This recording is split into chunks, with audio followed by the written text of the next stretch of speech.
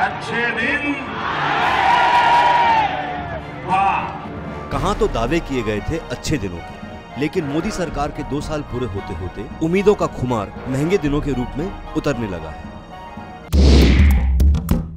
बहुत मुश्किल हो रही है। किचन बिल्कुल गड़बड़ाया हुआ है हमारा। हमारा पूरा बजट ही हिल के रह गया गरीब लोग के लिए तो बहुत परेशानी है।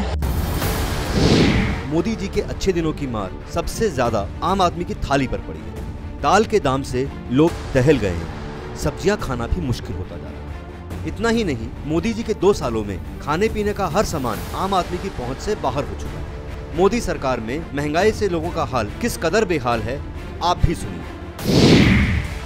डेढ़ सौ रुपये दाल हमने कभी देखी नहीं जो आज देख रहे मोदी के राज में। इससे पहले कभी इतनी महँगी दाल नहीं? तेल इतना महँगा हो गया है कि मध्य वर्ग का आदमी अगर सौ दो सौ रुपये भी कमाए ना अपने घर का खर्च नहीं चला सकता। पहले ये कहा जाता था कि हरी सब्ज़ियाँ महँगी है सिंपल दाल रोटी खा लो। अब दाल भी महँगी है और रोटी भी महँगी है। डॉलर के हिसाब से है प्याज। महँगाई बहुत अपनी चरम सीमा से ऊपर पहुँच चुकी आम आदमी का खाना मुश्किल हो।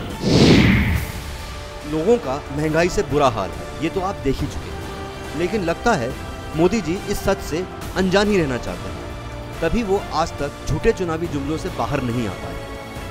महँगाई अगर आपने सरकार न बनाई होती तो पता नहीं महँगाई ने क्या हाल कर दिया होता। हमने महँगाई को रोकने में सफलता पाई है।